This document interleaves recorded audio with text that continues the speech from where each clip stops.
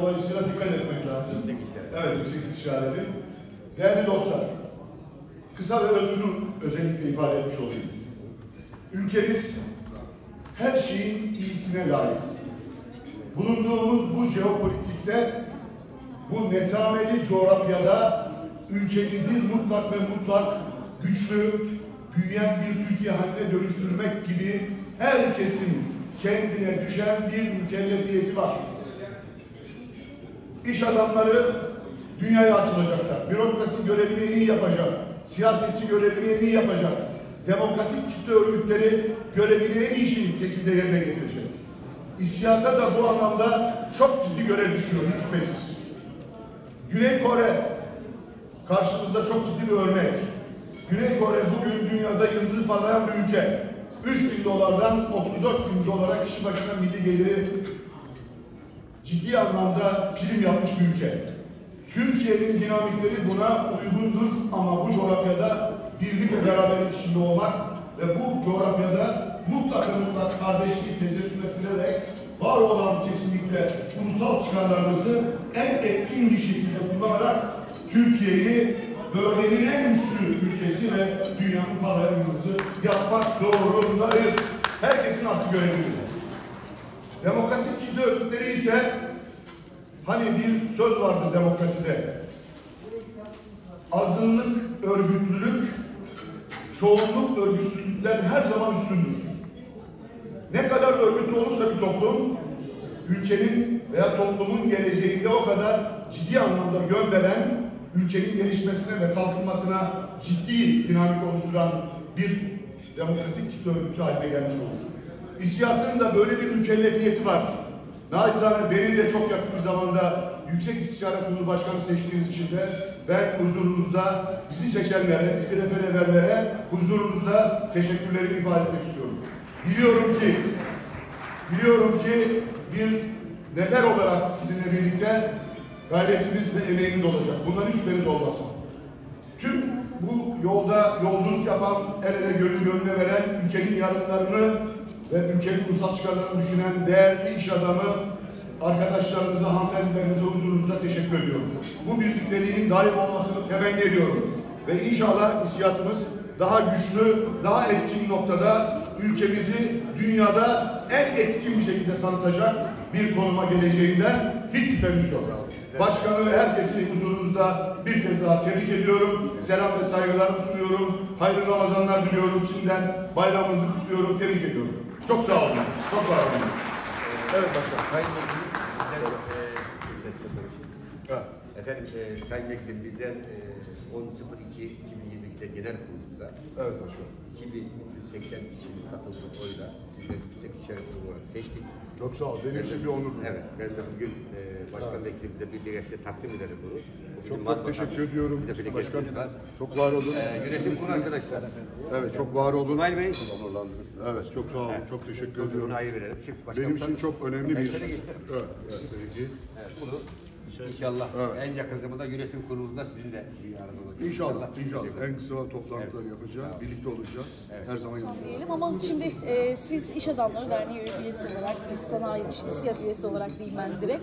E, şu anda malum pandemi devam ediyor ama gerçi sonundayız ama bir tarafımızda da savaş var. Peki şu anda Türkiye'deki bu durumu nasıl değerlendiriyorsunuz veya sizin açınızdan, iş adamları açısından nasıl değerlendiriyorsunuz? Ee, ilk önce tabii ki iftarımıza geleceğiz. Çok teşekkür ediyorum. Şimdi bizler kesinlikle karamsar değiliz. Bizler tabii ki gerçekten özlem duyduk. İki yıldır da bu Covid'den dolayı bu tür programlar yapamadık.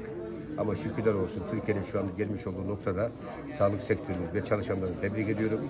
Ve kendi e, ilacımızı kendimiz ürettik. Şükürler olsun. Şu anda zaten yüzde beş, yüzde altı risk oldu ama günlere kavuşmuş olduk. Ekonomik sıkıntı da şöyle ilahidir. Şimdi parayla para kazanmayı bırakmak lazım. Bir kere ben bankadaki parası olan arkadaşlara söylüyorum. Yatırıma döndürelim, üretimi yapalım. Yani hazır para her, her şey biter, biter yani. Ben sanayiciyim. Kendim tekstil işi yapıyorum.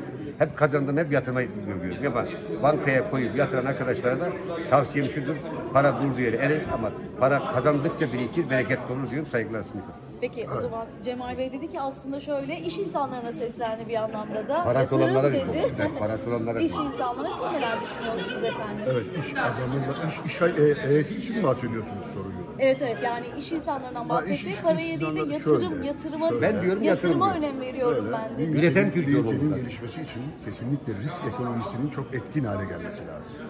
Girişimci, müteşebbis olan, var olan değerlerimizi mutlaka ve mutlaka Türkiye'nin e, dinamikleri olarak çok güçlendirmemiz gerekiyor ve her müteşebbis, her girişimci hiç şüphesiz ki kesinlikle bankada başkanı söylediği gibi para filan falan rezerv etmek değil. Bir insanın yanında kaç kişi çalışıyorsa o kadar topluma faydalıdır. Bunu çok net olarak görmek lazım. Yani 100 kişi çalışıyorsan 100 kişi kadar zenginsiniz. Bu kadar. Zenginlik ölçüsü budur kesinlikle. Özellikle Türkiye'de reel sektör, risk sektörü etkin olmalı. Yani ulusal çıkarlarımıza, gayri safi milli etki sağlaması adına bu son derece önemli. İyi ki böyle değerlerimiz var. İstihat gibi çok önemli girişimci, müteşebbis, gerçekten kendini ispatlamış iş adamı arkadaşlarımız, iş kadını insanlarımız var. Bu son derece önemli. Örnek bir tablo bu. Bu tabloyu kesinlikle hem uluslararası bağlamda hem Türkiye'nin iş dinamikleri bağlamında pekiştirerek örnek olabilecek yatırımcılar, girişimcileri mutlaka Türkiye'nin e, gayri safi milli hasılasına etki sağlayacak noktaya taşımamız lazım. Türkiye'ye güveniyoruz. Bulunduğu coğrafyada Türkiye bölgesel bir güçtür. Hiç şüphesiz. Umutsuz değiliz çünkü gerçek umut bizleriz.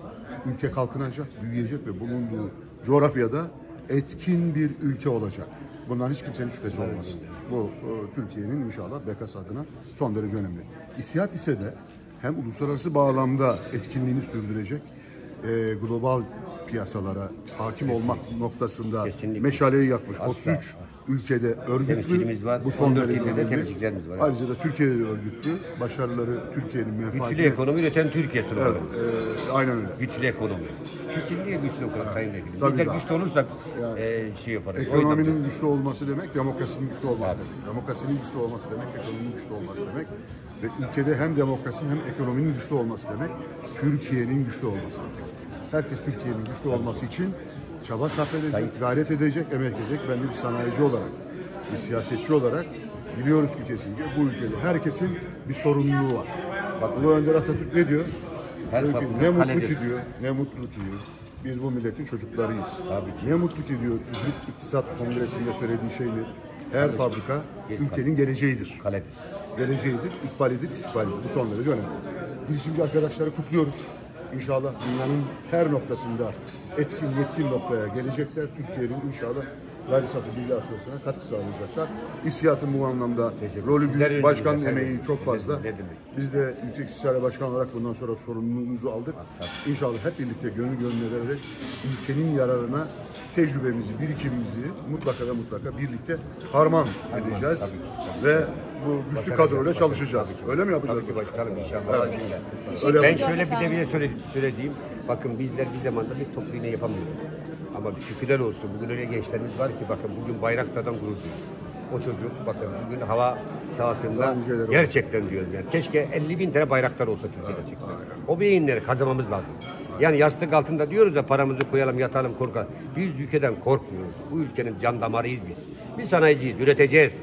İnadına üreteceğiz, inadına üreteceğiz. Peki. Ha, o Cesur yani. sanayiciler. Teşekkür ediyorum.